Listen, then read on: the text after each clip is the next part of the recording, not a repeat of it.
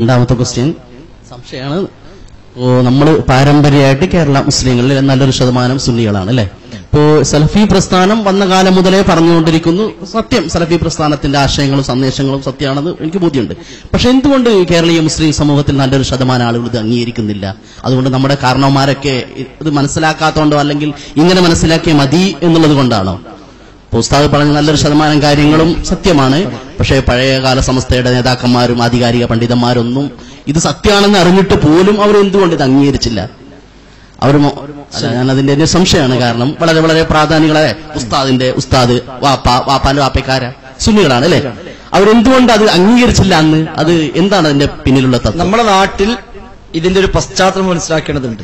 അപ്പൊ മാലിക് ദിനാന്റെ കാലഘട്ടത്തിൽ ഇസ്ലാം എത്തി എന്നാണ് പറയപ്പെടുന്നത്. അള്ളാഹു വ്യത്യാസമുണ്ട് ആ വർഷത്തെക്കുറിച്ച്. പിന്നെ ഇത് അഞ്ചാം വർഷമാണ് എന്നും അല്ല അൻപതാണ് എന്നും ഇരുന്നൂറാണ് എന്ന് നമുക്ക് അഭിപ്രായമുണ്ട്. ഫത്തുൽ മൊഴിനെ സൈദി മഖ്ദൂം ഒക്കെ പറയുന്നത് ഇരുന്നൂറിലാണ്. എന്താ ആയിക്കോട്ടെ അള്ളാഹു എന്താണെങ്കിലും. അന്ന് അത് വന്നു. പിന്നീട് അതിന്റെ ഒരു തുടർച്ച കേരളത്തിൽ അധികമൊന്നും ഉണ്ടായിട്ടില്ല.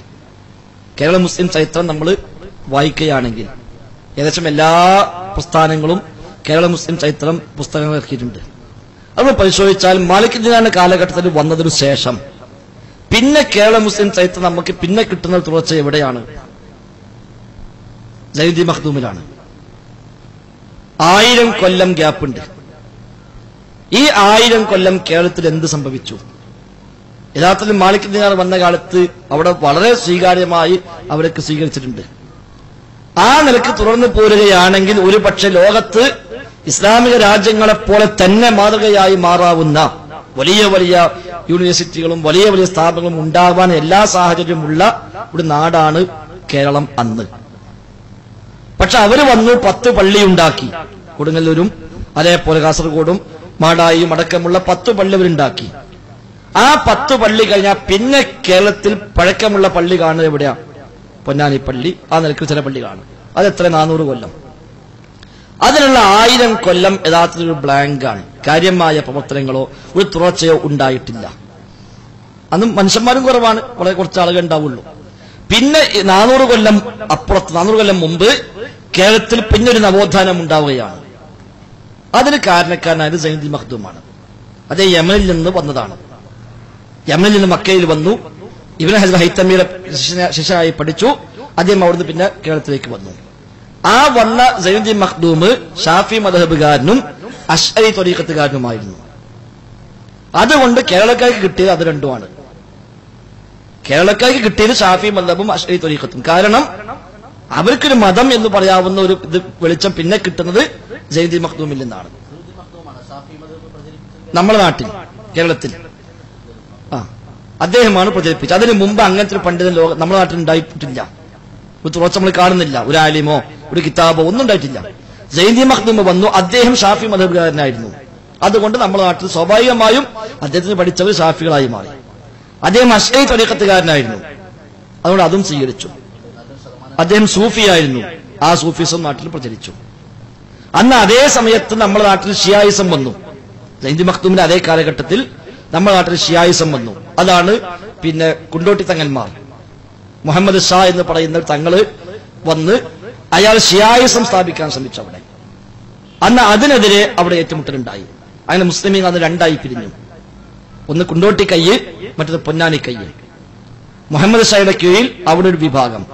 അവർ പറഞ്ഞു മുഹമ്മദ് ഷാ വലിയുള്ള മുരീതന്മാർ അതാബില്ല മുഹമ്മദ് ഷാ വലിയാണ് അയാൾ മുരീതായി കൂടിയാൽ അതാബ് ഉണ്ടാവില്ല മറ്റൊരു പറഞ്ഞു മുഹമ്മദ് ഷാ വലിയല്ല മുരീതന്മാർ അതാബെല്ലാം മുഹമ്മദ് ഷാ വലിയല്ല. അയാളെ മുരിതന്മാർക്ക് എല്ലാ അതാബ് ഉണ്ടാവുക എന്നാണ് അങ്ങനെ പ്രശ്നമായി കുണ്ടോട്ടിപ്പള്ളിയിൽ ഒരേ സമയത്ത് രണ്ട് ജുമായിരുന്നു താഴെ ഇവ ഷിയാക്കളെ ജുമ മേലെ പൊന്നാനി കൈക്കാളെ ജുമ. കുറച്ചു കാലം കഴിഞ്ഞപ്പോ ഇത് രണ്ടും കൂടി മിക്സായി സങ്കലീനമായി രണ്ടും ഒന്നായി മാറി.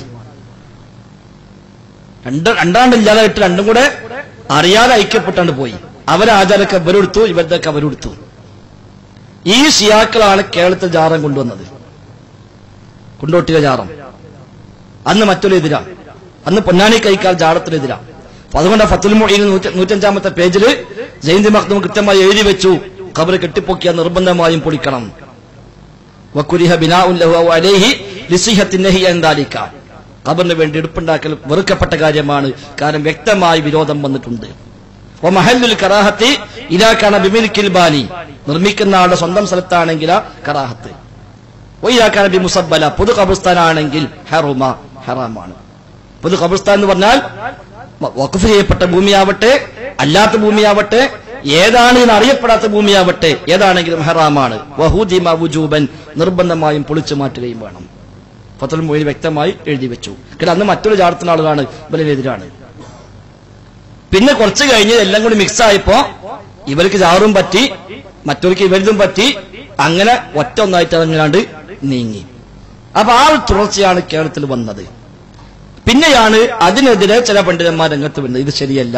ചില അബദ്ധങ്ങൾ സംഭവിച്ചിട്ടുണ്ട്. തകരാറ് സംഭവിച്ചിട്ടുണ്ട് എന്ന് പറഞ്ഞുകൊണ്ട് ഒറ്റപ്പെട്ട ശബ്ദങ്ങൾ ഉണ്ടായി വരുന്നു. അപ്പൊ സ്വാഭാവികമായി അപ്പോഴേക്ക് ഇതൊക്കെ വരുമാനമായി മാറിയിട്ടുണ്ട്. ഈ നിലയ്ക്കുള്ള ഒരു സ്വീകാര്യത മറ്റുണ്ടായി വന്നിട്ടുണ്ട്. ഈ സമസ്തയുടെ രൂപീകരണത്തിന് ശേഷം അത് മുമ്പോ? തൊട്ട് മുമ്പായിട്ട്. സംസ്ഥയുടെ തൊട്ട് മുമ്പായിട്ട്. ചില പണ്ഡിതന്മാർ രംഗത്തിറങ്ങുകയും പണ്ഡിതന്മാരെ വിളിച്ചുകൂട്ടുകയും നമ്മുടെ ബാധ്യത നിർവഹിക്കണം എന്ന് ബോധവൽക്കരിക്കുകയും ചെയ്തു. അപ്പൊ ചില ആളുകൾ തിരിഞ്ഞു കാരണം ഇത് പോക്ക് ശരിയല്ല. ഇത് നമുക്ക് ബുദ്ധിമുട്ടാണ്. കാരണം സമൂഹത്തെ ചൂഷണം ചെയ്തുകൊണ്ട് ജീവിക്കുന്ന കുറെ ആളുകളുണ്ട്. അങ്ങനെയാണ് തൊള്ളായിരത്തി ഇരുപത്തിരണ്ടിലാണ് കേരള ജമയത്തുൽ ഉലമ എന്ന ഒന്നാമത്തെ പണ്ഡിത സംഘടന കേരളത്തിലുണ്ടായത്. ഒന്നാമത്തെ മതസംഘടന. കേരളത്തിൽ ഗവൺമെന്റ് നിയമപ്രകാരം രജിസ്റ്റർ ചെയ്ത ഒന്നാമത്തെ സംഘടന കേരള ജംഇയ്യത്തുൽ ഉലമ തൊള്ളായിരത്തി ഇരുപത്തിരണ്ടിൽ ഇരുപത്തിരണ്ടിൽ ഉണ്ടാക്കി ഇരുപത്തിനാലിൽ രജിസ്റ്റർ ചെയ്തു. അന്ന് എല്ലാവരും ഒന്നിച്ചാണ്. അന്ന് വലിയൊരു ബാക്കിയാത്ത സ്വാലിഹത്തിലെ പ്രിൻസിപ്പളാണ് അതിനെന്ത് അധ്യക്ഷം വഹിച്ചത്. അദ്ദേഹമാണ് പ്രാർത്ഥിച്ചത് ഈ സംഘടനയെ ഖിയാമത്ത് നാൾ വരെ നീ നിലർത്തണേന്ന് നാലു കൊല്ലം മുന്നോട്ട് പോയപ്പോ ചിലർക്ക് മനസ്സിലായി ഇത് നമുക്ക് പട്ടിണിയാകുന്ന പരിപാടിയാണ് അപ്പൊ അവരെ ഇത് വേറിട്ടു. എന്നിട്ട് അവർ വേറെ സംഘടന ഉണ്ടാക്കി. അതിനും പേരിട്ടു കേരള ജമ്യത്തിലൂരമ്മ ഇതേ പേരിട്ടു. എന്ന് രജിസ്ട്രേഷന് പോയി. അപ്പൊ പറഞ്ഞു ഒരു പേരിൽ രണ്ടെണ്ണം കിട്ടൂലാന്ന്. അപ്പൊ അതിന് മുന്നിൽ സമസ്ത എന്ന് കൂട്ടി. സമസ്ത കേരള ജമ്യത്തിലൂരമ്മ അങ്ങനെ രജിസ്ട്രേഷൻ വാങ്ങി. അങ്ങനെയാണ് സമസ്ത. തൊള്ളായിരത്തി ഇരുപത്തി ആറിൽ ഇരുപത്തിരണ്ടിൽ കെ ജെ യു ഉണ്ടായി. ഇരുപത്തിയാറിൽ അതിൽ എസ് കൂട്ടി S K J U Samastha Kerala Jamiyyathul Ulama എന്നതുണ്ടാക്കി അപ്പൊ അവിടെ മുതലാണ് അത് അങ്ങനെ വേറിട്ട് പോണത്. പിന്നെ സ്വാഭാവിക രണ്ടെണ്ണായപ്പോ ഇവരെന്ത് പറഞ്ഞു അതിനൊക്കെ എതിർക്കുക എന്നുള്ളത് ഒരു അജണ്ടയായി മാറി. അപ്പൊ ഇത് ശിർക്കാകുമ്പോൾ ഞങ്ങൾ ശിർക്ക ചെയ്യുള്ളൂ എന്ന് വാശി രൂപത്തിൽ എല്ലാ ശിർക്കും ഖുറാഫാത്തും ഏറ്റെടുത്ത് പോന്നു എന്ന് മാത്രം. അള്ളാഹു. സന്തോഷം. വേറെ? ഉണ്ടെങ്കിൽ ചോദിച്ചാൽ മതി. ഉണ്ടാക്കി ചോദിക്കൊന്നും വേണ്ട.